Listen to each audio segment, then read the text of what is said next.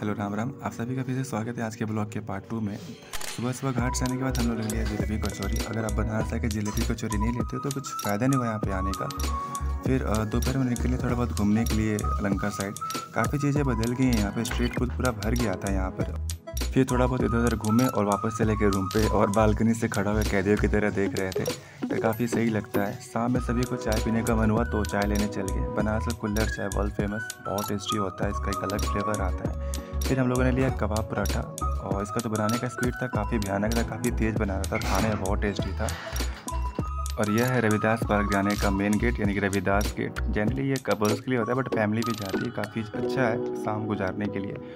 और ये जो महल है, काफ़ी प्यारा लगा, सोचा आगे आपको दिखा दिखाते बट यहाँ की जो लाइटिंग थी बहुत बेकार थी प्रॉपर लाइटिंग नहीं थी। अगर यहाँ प्रॉपर लाइटिंग दे दीजिए ना, काफ़ी अच्छा हो जाएगा घूमने फिरने के लिए जगह। और यह है बुके कॉर्नर यहाँ से हम लोगों ने बहुत बुके लिया था स्कूल टाइम पर और यहाँ से हम लोगों ने काफ़ी लॉन्ग लेता और समोसा खाया था। और जो सामने आपको क्रॉकरीज का दुकान दिख रहा है ना, यहाँ से हम लोगों ने काफ़ी गिफ्ट्स लिया था लोग को देने के लिए लाइक कुछ मूर्ति वगैरह ऐसे वैसे हुआ करता था। फिर ये सामने यहाँ तो त्रिदेव मंदिर था, बहुत प्यारा बनाया गया जैसे इसका जो इंटीरियर था, बहुत सही था।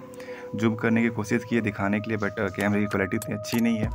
वैसे दुर्गा कुंड एरिया उतना डेवलप नहीं था पहले बट काफ़ी ज़्यादा डेवलप हो गया है। जा रहे हो तो मानस मंदिर में आरती होता सोचा कि आपको दिखाएँ। अगेन जूम किए बट कैमरे की क्वालिटी इतनी अच्छी नहीं है तो उतनी अच्छे से आ नहीं पाया बट फिर भी दर्शन कर लीजिए आप। उसके बाद से दुर्गा कुंड साइड गए तो काफ़ी अच्छा सजाया गया था, इसको बहुत सुंदर लग रहा था। फाइनली विकास भी आ गया था फिर हम लोगों ने कुछ खाया पिया और रूम के लिए चले गए। तो आज का ब्लॉग यहीं ख़त्म करते हैं, मिलते हैं आपसे फिर कल। अगर आपको वीडियो पसंद है तो वीडियो को लाइक करें कमेंट करें शेयर करें। अगर आप मेरे चैनल पर नए तो चैनल को सब्सक्राइब करें।